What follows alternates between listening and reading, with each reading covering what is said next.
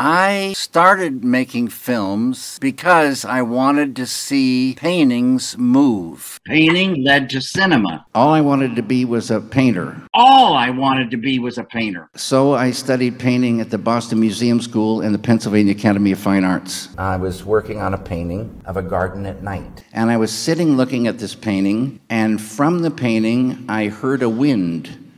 And then I saw the green start to move. And I said, Oh, a moving painting.